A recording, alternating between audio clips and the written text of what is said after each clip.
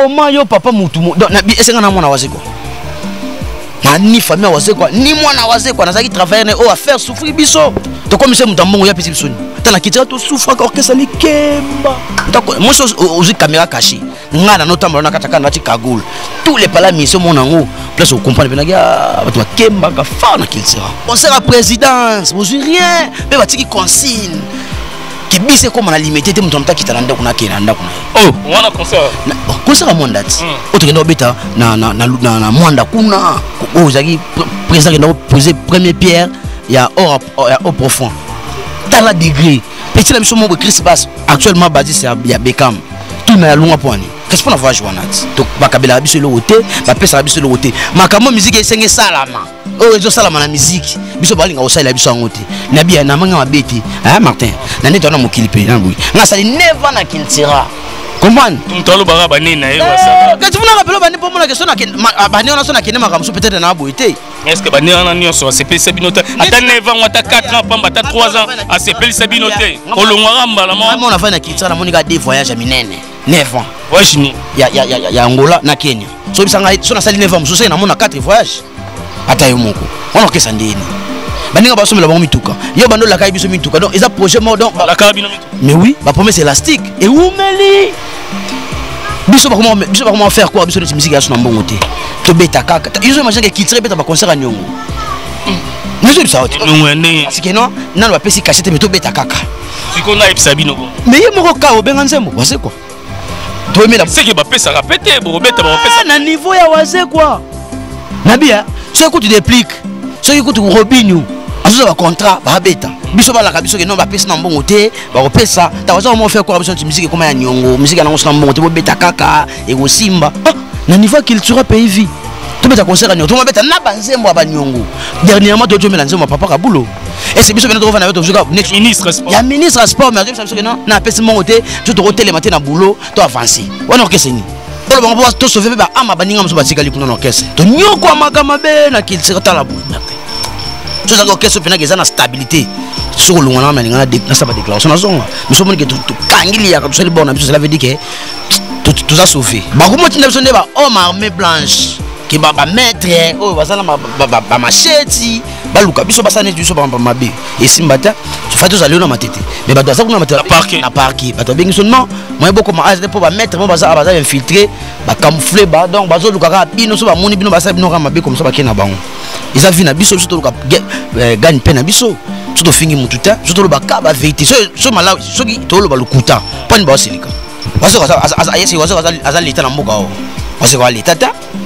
akomotisa na bato bakoma koenleve bato koma mpe leta mpe nde toloba boye ozo confirme yango ke est ce que monstre moto atindaki bato bakanga seden waze kwa moto atindi bato bakanga moto parce que bato wana ntango baye baza koloba yango na tv epai na tino kole na émission ya frank stemai kibana wana bakozala à l'aise te kobanda lelo biso tokozala lese na congo biso eseza na congolais moko aleki bacongolais nyonso na econgolais bapreuve atindi na parquet kuna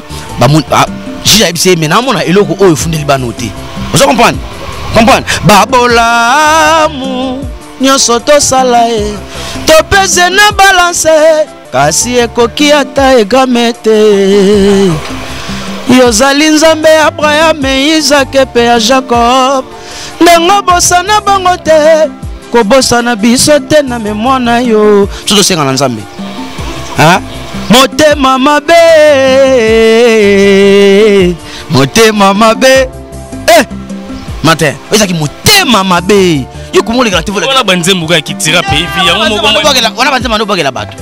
mais nzoka nde ye moko bizali na ye oh. oh, mais ya solo motema mabe tala yaka seki so asali réconciliation na v quadra nde makambo ebongi kaba mpe mbongo oboy oh, kaba bolingo mabe ngai wa yo nazoku biso tokufa jésus nous a libéré de la prison de mes indiens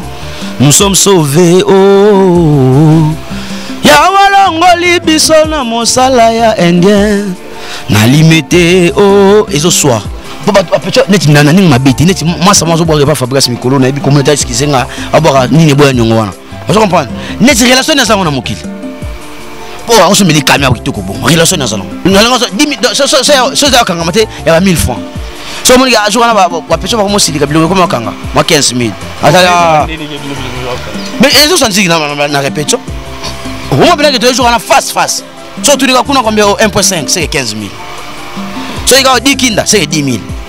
to ya 2 points juste seke bwana 20 000 nazoyebisa yo moni makambo mosusu bakazoka tosala bavantine tokosa monia moni bato mosusu tosala biso bomona moto mosusu na commentaire bino bazoba zwa ndeko na yo wana ya kotikela na kiti aso aza musicien omona so nde bobando koswana nanga mosola na bagrande sere na ngai mpo bamwa neti nakosa bango so nyonso bango na mpiaka ye yobeta epa waze kua nasi bango tozozwa rien a ah, tika biso so bango basalela yango te makambo lelo komo bazalinabi aza na ye sportif te eza kaka wana ezaka impression apesaka bato na mokili oh! azoka aza sportif te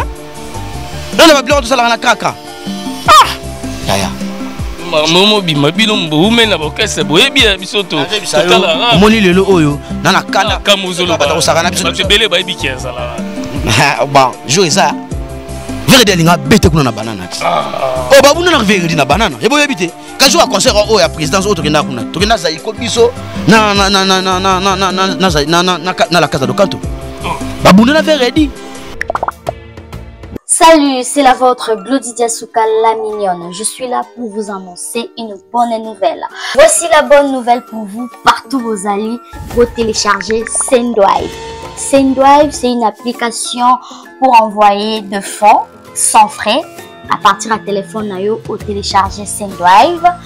oza na poto okoki kotina mbongo partout na ba certains pays ya afrique précisement biso na congo oza toza na mposa so ya kose déplace te à partir ya telefone otelecharge sendrive na yo otindi mbongo na seconde moto mpe azwi na telefone na ye na mpesa orange mani airtel mani très facile à utiliser et c'est très sécurisé bobanga te talaka nga moko naza na kati et puis cadeau ya monene oyo tomemeli bino nyonso bozo télécharge sendrive boutilize code promo nanga elengi ya kogo donc après avoir télécharge sendrive oko utiliser code promo elengi ya Congo oza na 10 euro offert 10 euro bonus 10 euro wana ebakisi susu mwa un plus na mbongo oyo olingaki otinda en tout cas n'hésitez pas bana poto nyonso bacongolais tout badiaspora olingi otinda mbongo na congo télécharge sendrive application kitoko mpona biso bacongolais nyonso eye kofacilite biso transfert d'argent sans frais oza na mbongo kofuta te kaka na kati ya application osali transfert na yo mpe ndeko no kuna aketelema te na molongo mpona kozela bapesa mbongo directement na telefone na ye azwi mbongo na ye n'oubliez pas ya koutilize code promo na nga elengi ya congo mpona bozwa 10 euro ya bonus téléchargez l'application inscrivez-vous botie ba coordonnées c'est très facile à utiliser les noms complets les numéros ba email tout oyo ekosenga biso na kimia nyonso na tranquillité après avoir ko remplir nyonso à partir ya wana okoki kosala transfert na yo ya bafond oyo yo olingi na congo ndeko na yo aza satisfait malade o butu moye okende kotinda mbongo soki wapi te na telefone na yo kaka directement oenvoye mbongo mpe ekomi na sécurité nyonso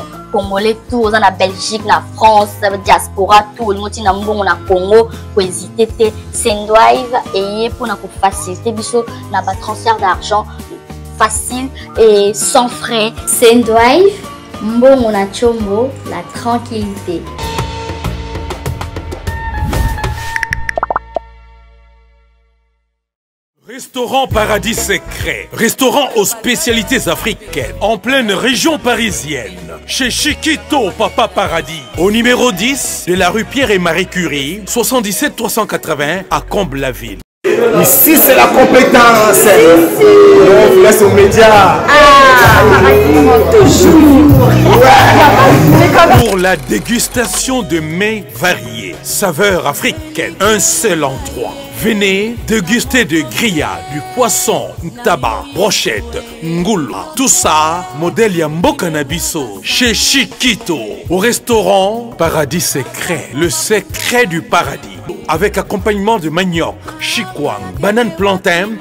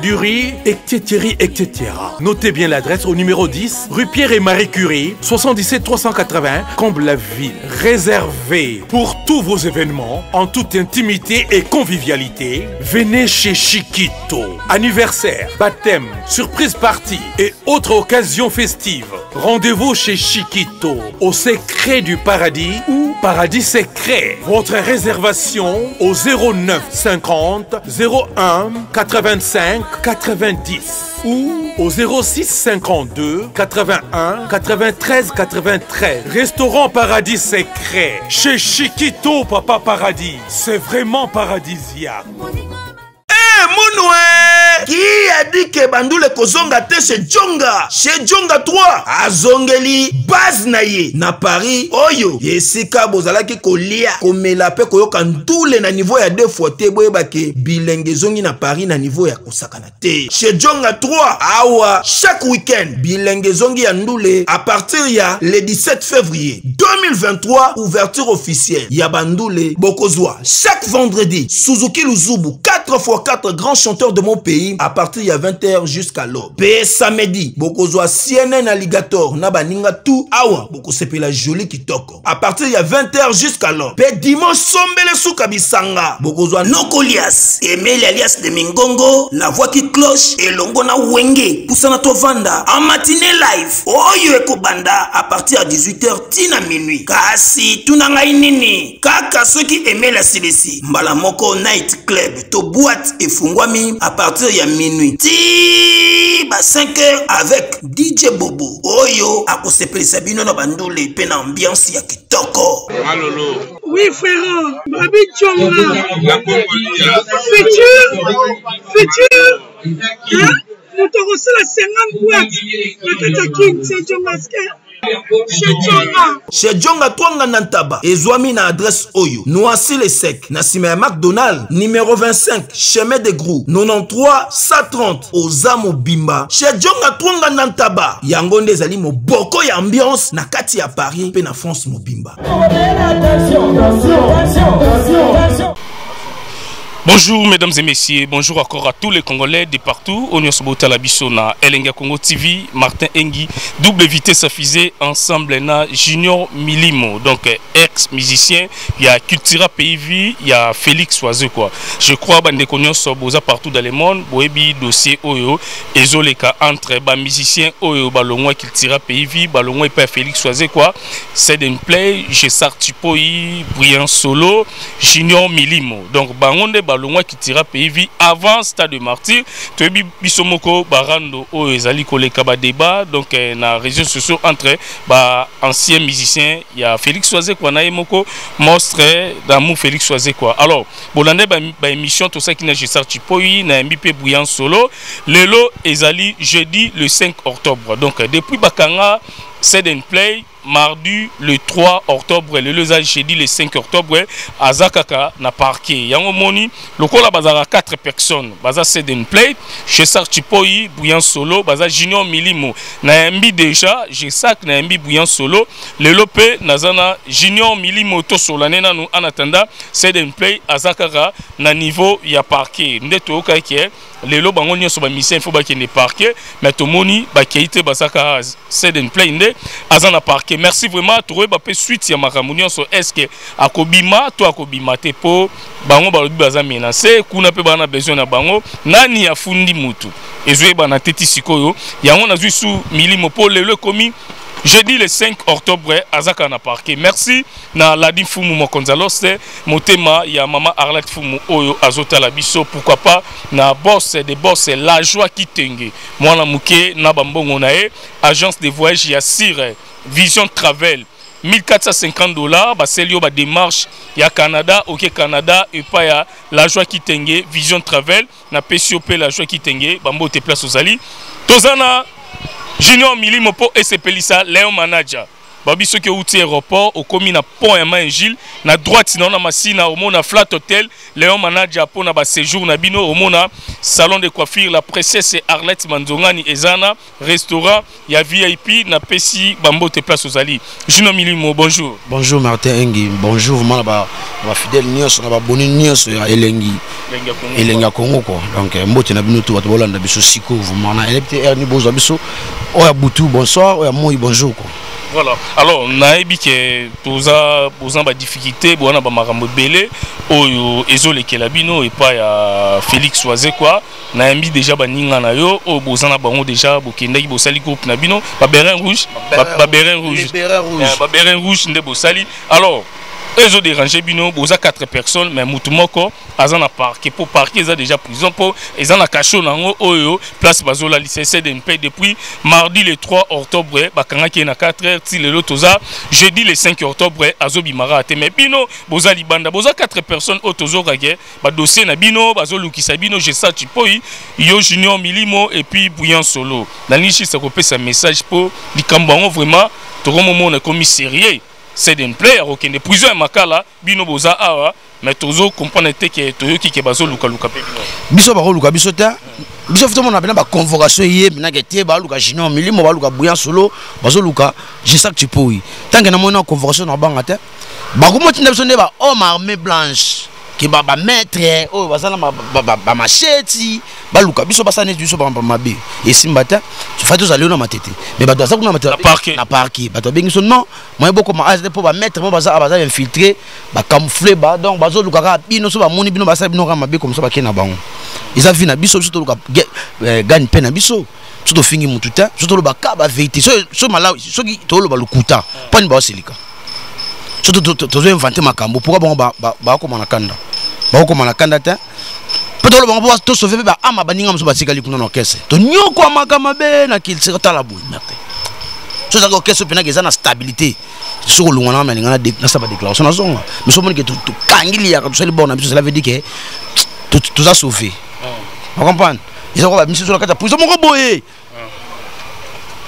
ezalaka te miziki eza bitumba te toswana na monoko biso tofingi te toloba kaka baverité sedeni baya koalevena eza kokangama te biso tozela baconvocation yango ya bazwa biso nyonso tokende sikoyo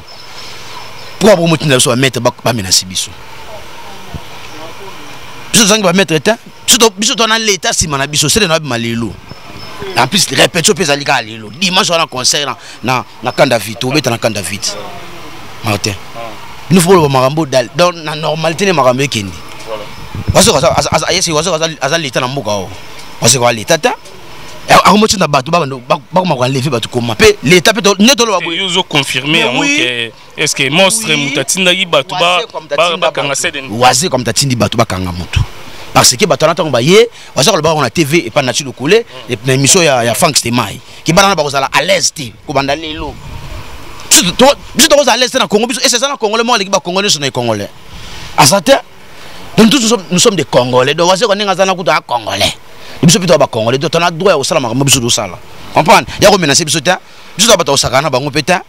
ya kasi ye nde aleki biso na bato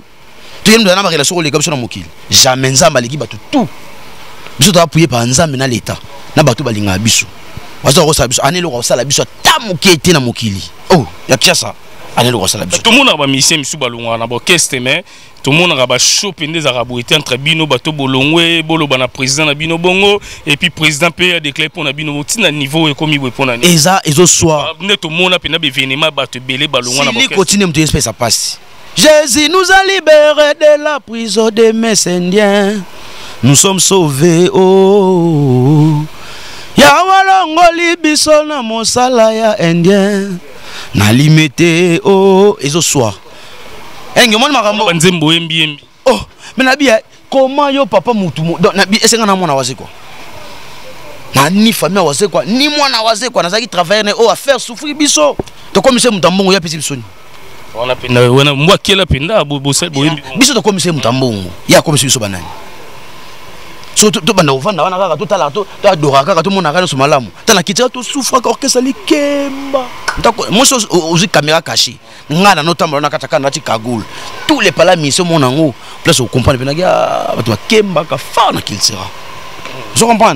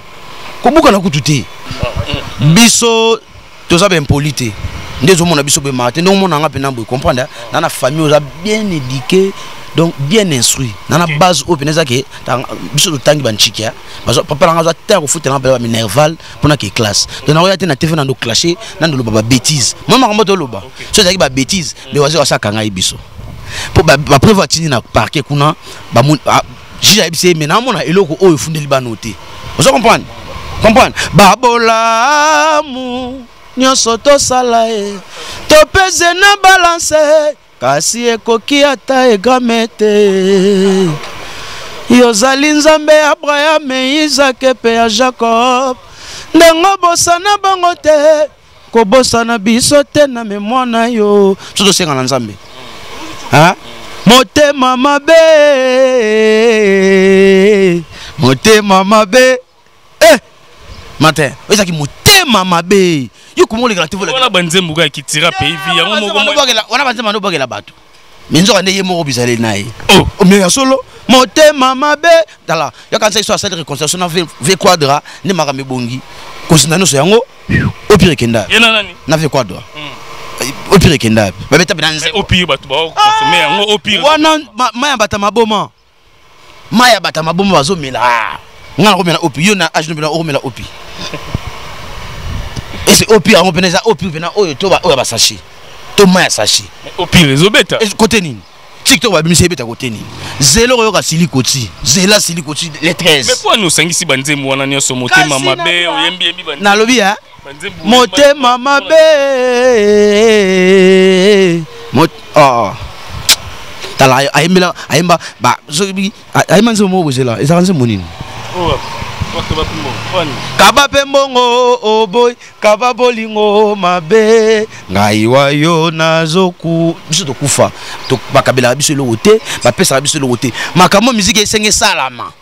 oyo ezosalama na miziki biso balinga kosalela biso yango te nabiya na manga mabe te eh, martin na nde toana mokili mpe na boye nga asali neva na kiltira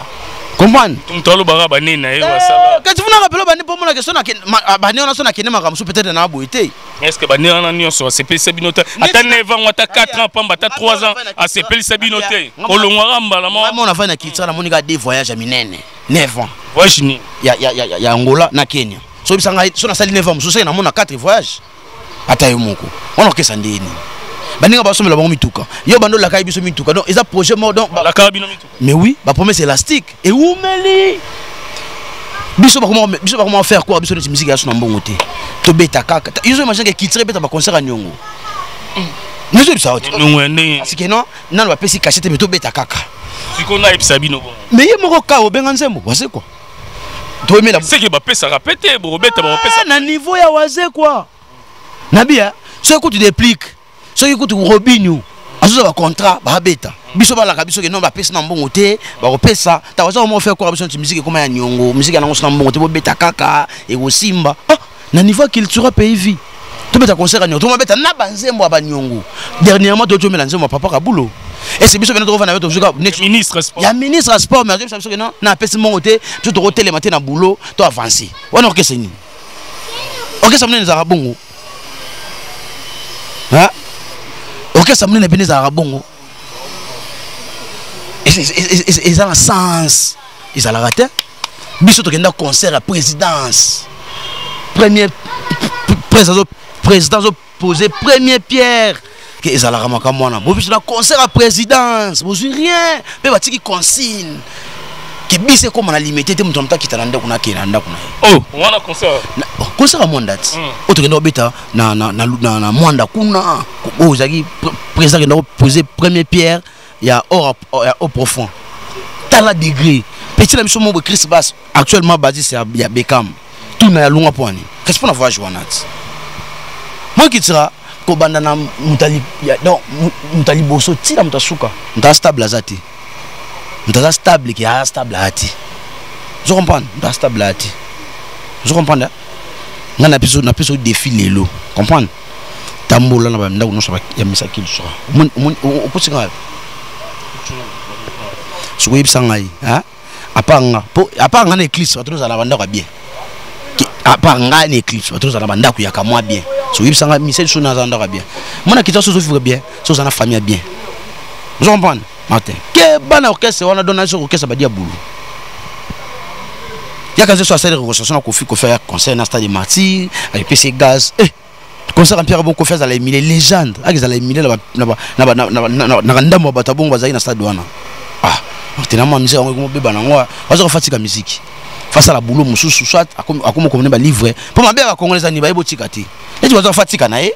asala eza chemin na ye akoma nini le petit moment de la sagesse fallait continuer kaka kokoma livre akoma na ye ekende yango bien mpo na miziki boye bayoka ye su te komoni kozaka lezo botandeke so mikro te bato bayoki te na mboka oyo oh. mpo atikalaka motu yo lider nini akoma kaka so osala émission nde bato bakisepeli miziki bakasepela so te soki okomi kaka koloba nde bato bakomosepela nawa wana lider andeye nini donc omoni yo soki otiki kotandeka mikolo epai na ye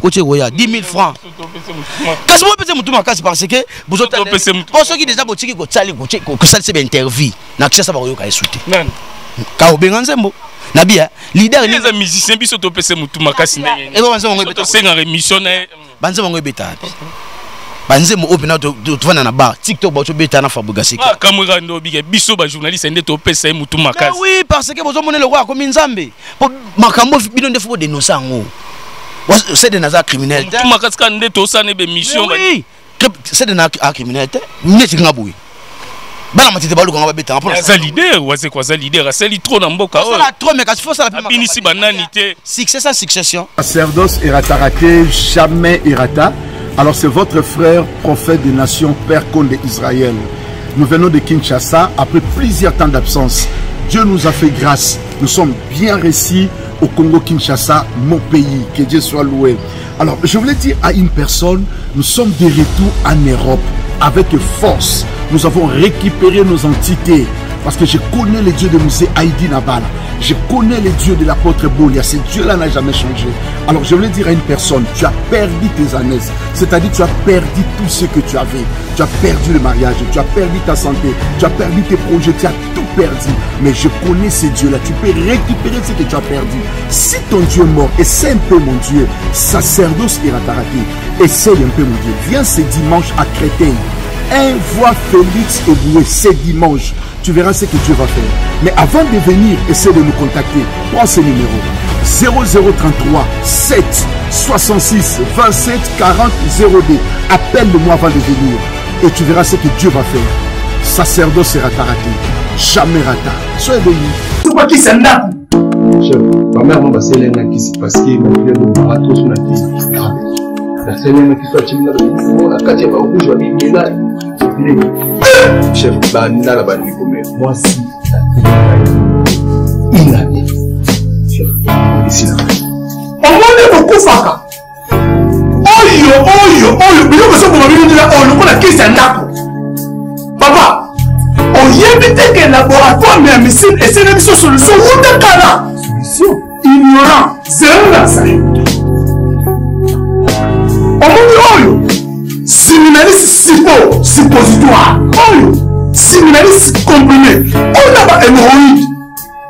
voilà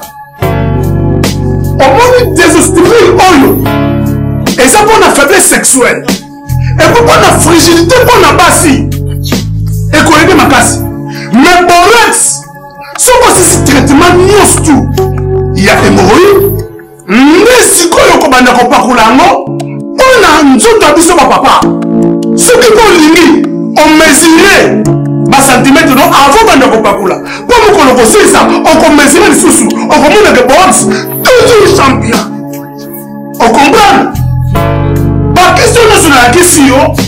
okozonga esika mosusu te na congo kaka na laboratoire me ya misine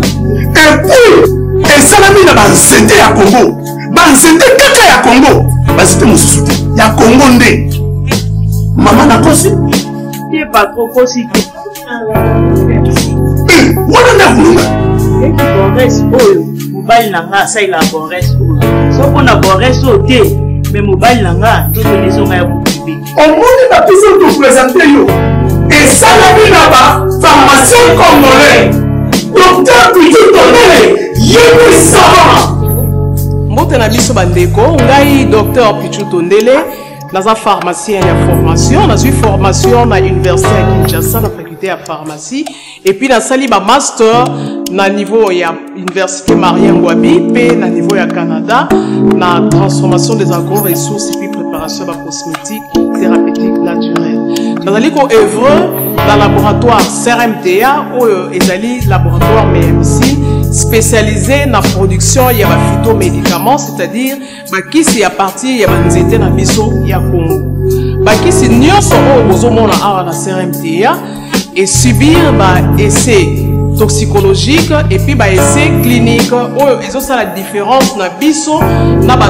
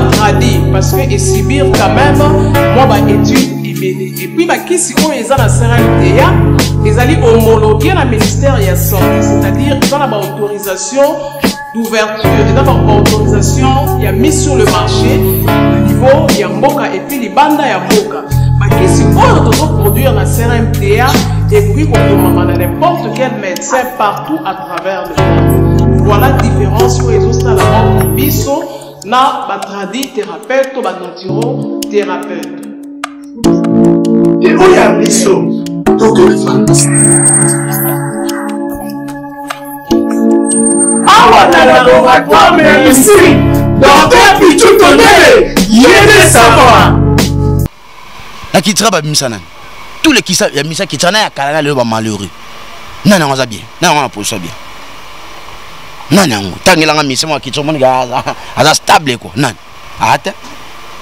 so biso tokonjina kovanda na orchestre bongo moto moko azokoma moto ya mbongo azokoma millionnaire mpo azoka aza millionnaire moto ya mbongo ya solo mais ya liboko makasi akabaka te ozo comprendre grand moto ala grand moto ya mbongo me akabaka te neti biso lelo nga vi na yo ekokoma na biso lendi toyoki pote oazoka plainte ah junior milimo tika oloba boye ko makambo oyo balukelo pamba eh, ye asali nini ye deja fundi bino bino nde bofinga ye bino moto boloba mabe na bino aloba na tv nini obi na émission ya 33 citenge aloba nini bana wana balingaki baboma nga defa lakisa biso preuve oyo biso tolinga toboma ye oyebi te abenga jesak zoba na tv defa lakisa biso mpe na jesak yango azoba sikoyo ya solo ozo comprendre mpe ye mwa alobaki koswana na balabala boye te fa alinga to question na soko na leta mpo soki ebendaki yo folakisa biso bon bana yango bayako bomo bazalaki ndenge nini mpo ozofunda biso ozokende biso na public na mokili nde sokomi baassassin esenga na kozala kabakaba biso tokina paa bato tobeta miziki soki na miziki yango tokoganye te tosala eloko na biso te biso tolongwaki eza te balongola biso mpo totimba waza kalinga te moto atimba pene na ye otimba ye makambo mbongo oh, me fu totimba biso tosenga waza kambonga poche na ye te hmm. so tosenga mbongo totoka ne podium moko obini nga mpe na bini nasali vocal mpo osali vocal yo olingi olobaki obeti baconcert ya niongo ah, eh, ah, nazoyebisa yo ti mbo marta na ndenge mabe te ndenge oza mpenza bozosala mosala no bapesaka mbongo ya transport yo ovivre nango nabokola bana nga ndenge nini natangisa bango ndenge nini nafuta bango minerva ndenge nini nga mona milatisa ndenge nini na basi na nga basala mwasi na nga basala ndenge nini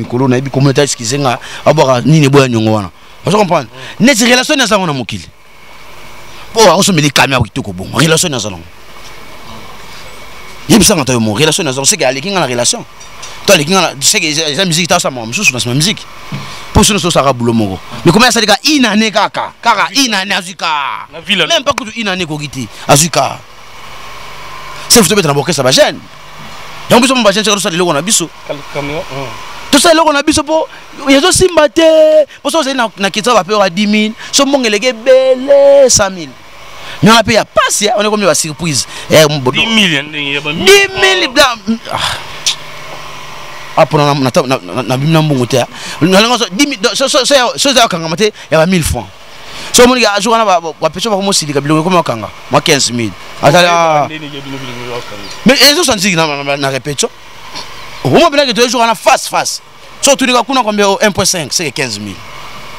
so yika 10 kinda seke 10 000 so a 2 points juste seke bwana 20 000 nazoyebisa yo mante moni makambo nso bakasoka tosala bavansine tokosa monia moni bato nso tosala biso bomona moto mosusu na commentaire bino bazoba hmm. zwa ndeko na yo wana ya kotikela na kiti aso aza mise omona so nde bobando koswana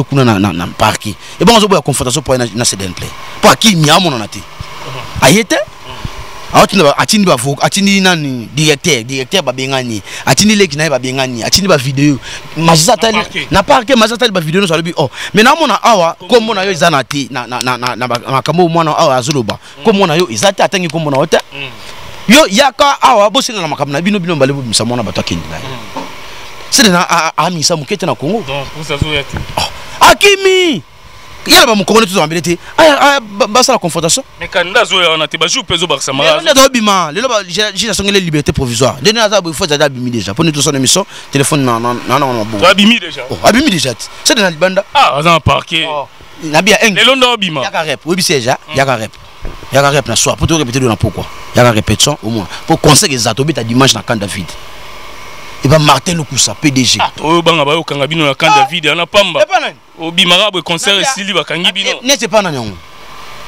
nani yango akanga biso yebisanga kasi nani yango akanga biso nani yango bakanga bato bongo wana ezalaki régime ya kala oyo toza na ta fati beto sikoyo osanti mpenaki no eh, état de droit donc afuna mona moninga afana kima kishasa Vraiment apena ke convocation po alobaki tokozala mal à l'aise. Siko nazala na koma pona ntibo na na naza mal à l'aise te. Yo tina ba maître ba mena senga nga mona nga mona nga mona kai ta fois ndo mona nga pena boye. Po so boye na loyenge so boye na loyenge. Po kozala bino 6. Bo beta na bino nga. Miso ba bika simoko moko. Moko moko na pena nga na bango moko moko. Ndio matita ngomete nani? Rumo oh, wana ba maître mati. Baza te kuna tokana ba maître Jim Sango wana. okompane bameta biso mozande maître mozande neti no ete nana orchestre azalaka kuna ese culture eza na maître neti na ntangela maître kitira oyo moko yo oyebi owangani bamaître kitira nazo yebisa omoni nga nga mona champion omona masi omona ndolo te eh, eh, tuna bato nakola na bango bayebisa oke oyo oh, oh, champion babangisa biso te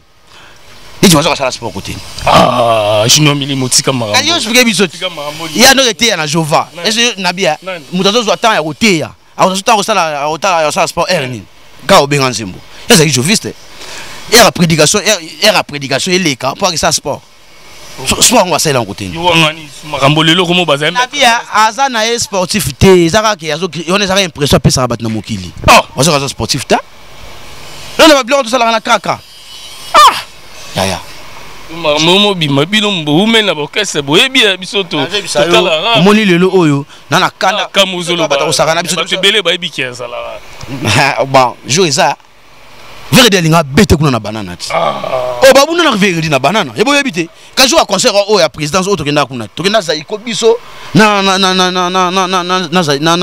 la casa do canto oh. babunda na veredi oyebi kwati veredi alinga abete mabe bolisolana bino boyebi yango te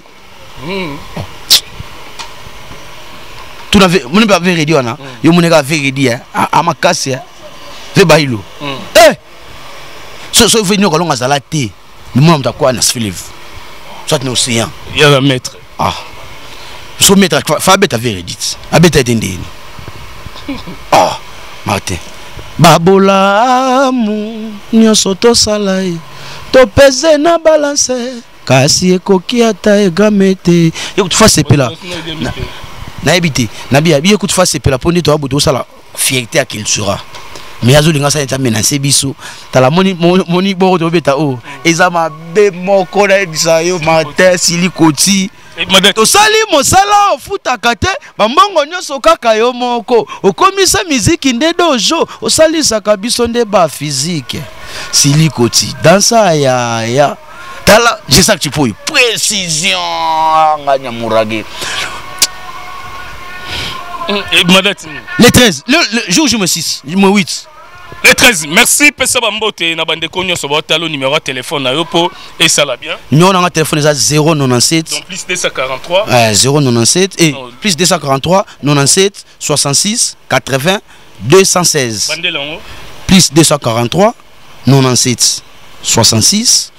80 216 junior milimo soko lingo donc wana pena ko eh, po tona banzembo mm. nana nzembo moko eza na titre nango pompage po awa ah, wana 10000 forme toyebima après jesa aza na nzembo mosusu 400 tour boye aza na nzembo no moboye entraînement 10000 francs de gesile obenesi 10000 francs eh, eh, etikaka basala bamixage babilo mwa mike mike de wana soki olingi okota na 10000 francs obengi mpo eloko mo eza na mabe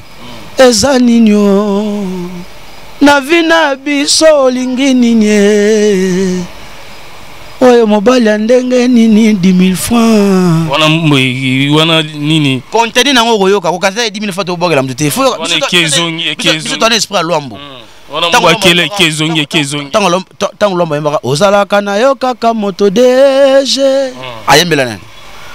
ah. apesaka message badege bokanisa te bokoyemba nzambe bozalaka bino kaka bato hmm. biso mpe tolobaka donc 10 000 francs yo nde zela oyoka contenu nango voilà merci bambote na bato nyonso napesi na base na ngai mobimba donc salo mangi na bige wana ata boye 200 000 tolonga bino tobeta bino toganye bino mpo awa base do moto akota kutu te okomprane bele to ezali aosakana te napesi mbote na mare na ngai odile yama faton sin vie na ngai pupo mabuma gapa ovie soki yo te me naza ofelin eh? talaka yo vie donc sa yo maa plein na mposa te mon colonel hein? force tranquille papi mangunza mire de sécurité namona wana na kati ya france namoni mwasa na ngai uh, kaludie star papa na jesi coach bage nabosani te ve na ngai leo manager mm, ah, manager leo manager nabosani te nazomona tout pale pai patrick bokilo ve na ngai gabi mota ah wana en direct de london city donc napesi gabi malela napesi wana namona jacques mindai mama leya mindai donc napesi bato to balingaka nga bambote ebele nabosani te mogroso dezamba na mai ya njili wana hein? mogroso aza wana na se wana loso ye wana mbala moko kitoko ose refroidir kitoko na kitoko nabosani te ve na ngai gérant awilo gérant patrick nabosani te eric tuke mon pote ya pama aspazi nabosani te rachel awilo awilo Gérard Patrick na peso ba mbote flat hotel au manager na point main juge wana na masina baza mangi mangi voilà sanga tete mm, mm. do makambo ebele ebele mm. dans les bons quoi donc euh, na mbosa te jogo na biso nani feba donc mbote fepa ouais jogo fepa mbote ebele na bosa te bapesaka mikolo bapesaka contact ya Oscar Maritou, les millionnaires en culotte. Mm. Euh, na bosani te Oscar Maritou, meilleur joueur du monde. donc bambote ebele soki ozali na biki mikolo okotya babisusu koleka merci merci na la joie kitenge balobi agence de voyage ya sire na 1450 dollars bandeko tout boza libanda république démocratique du congo oyo bandeko na bino baza awa na rdc bolingi bavoyage bakende canada na 1450 dollars basali badémarche nyonso na agence de voyage vision travel bake canada ye moko bos lajoie kitenge aza mpo na bino numero ya telefone na ngai ezali bobenga ngai na kopesa bino bakontakte na ye mpo na bandeko oyo bolingi bana na bino bayaya na bino famille bakende canada